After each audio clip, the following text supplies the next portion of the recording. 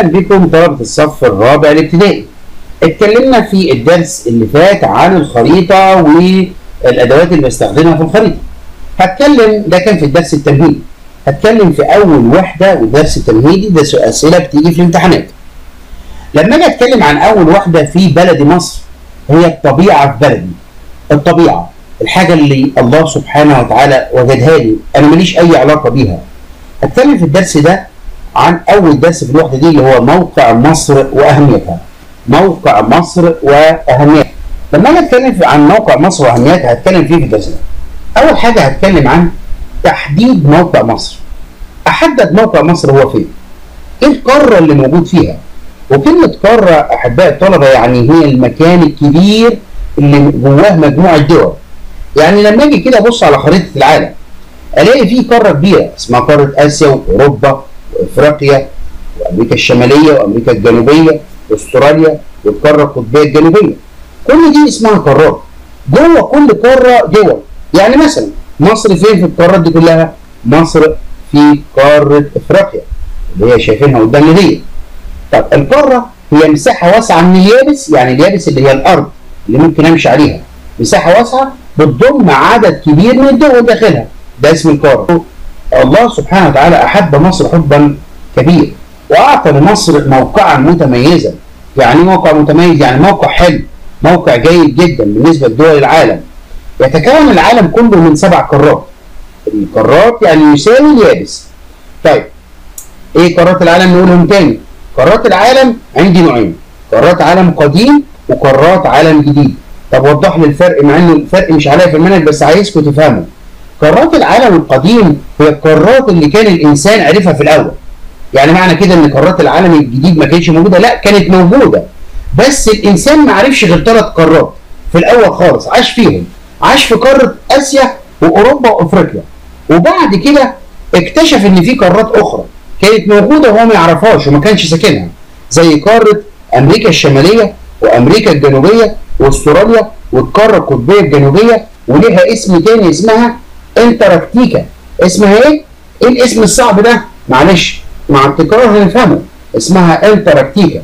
يبقى كده وضحت إن القارة مساحة من اليابس. القارات نوعين واحد ثلاث قارات قدام وأربع قارات جداد. القارات القدام آسيا وأفريقيا وأوروبا والقارات القارات العالم الجديد أربعة. أمريكا الشمالية وأمريكا الجنوبية وأستراليا والقارة القطبية الجنوبية. ما تفكرني باسمها الصعب اسمها قاره انتراكتيكا انتراكتيكا تمام؟ طب ده أنا كده حددت هي مصر موجودة فين. لما اتكلم عن موقع مصر موقع مصر بالنسبة لقارة افريقيا هي مصر موجودة فين بالنسبة للقارة؟ في النص ولا في الشمال ولا في الجنوب ولا في الشرق ولا في الغرب؟ إيه يا أستاذ اللي انت بتقول عليه ده؟ لا إحنا خدناها في الدرس التمهيدي وعرفنا ان في حاجة اسمها فروع أصلية اللي هي الشمال والجنوب والشرق والغرب. الشمال اللي فوق والجنوب اللي هي تحت والشرق اللي هي الايد اليمين والغرب اللي هي ايدي الشمال. طيب موقع مصر. مصر موجودة فين؟ في الركن الشمالي الشرقي. آه ده هنا وضح لي إن ده الشمال الشرقي ده إيه خدناها قبل كده في الدرس اللي فات اللي هي الاتجاهات الفرعية. الاتجاهات الفرعية اللي هي الشمال الشرقي. موجود في الشمال الشرقي لقاره أفريقيا في الحتة اللي متعلمه عليها في قارة أفريقيا. ومصر بالطول يعني إيه بالطول؟ يعني بص على بحرين مهمين. مصر بتشرف على بحرين مهمين. إيه هم البحرين دول؟ البحر المتوسط اللي إحنا شايفينه على الخريطة ده. ده موجود فين؟ في الشمال ولا في الجنوب؟ آه سمع ناس بتقول في الشمال. برافو. والبحر الأحمر موجود فين؟ البحر الأحمر موجود في الشرق. ممتاز. ناس شاطرة جدا معايا. يبقى البحر المتوسط في الشمال والبحر الأحمر في الشرق. وده كده عرفني مكان مصر فين بالنسبة لإفريقيا. لقارة إفريقيا. وأنا بفكر تاني. القارة يعني مساحة كبيرة من الأرض جواها دول مختلفة. إحنا دولتنا فين في مصر؟ موجودة في الركن الشمالي الشرقي. طيب. ده كان بالنسبة لتحديد موقع مصر. أنا عايز أعرف بقى هنا. أنت عمال تقول لي مصر موجودة في الركن الشمالي الشرقي وإن الله آه سبحانه وتعالى رزقها بموقع متميز. كده يبقى مصر مهمة موقعها مهم؟ آه. لما يجي هنا سؤال يقول لي بما تفسر. وأنا وضحت قبل كده كلمة بما تفسر يعني اذكر السبب. ليه؟ ليه مصر مهمة؟ مصر مهمة لأنها موجودة في وسط قارات العالم القديم. خدت كلمة قارات العالم القديم ده قبل كده ليه؟ إيه؟ آه فكروني. تمام. إفريقيا اسيا وأوروبا. يبقى هنا مصر موجودة في النص بين القارات دي. أهمية مصر زادت أكتر لما اتعملت واتحفرت قناة السويس. طب ليه؟ آه أنت قلت لي قبل شو من شوية من دقيقة بس بتقول لي إن مصر موجودة فيها بحرين بحر متوسط وبحر أحمر. ما لما اتحفرت قناة السويس اعزائي الطلبة ربطت بين البحر المتوسط وبين البحر الأحمر. يعني المركب لو عايزة تعدي من البحر الأحمر البحر المتوسط أو السفينة لازم تعدي على قناة السويس.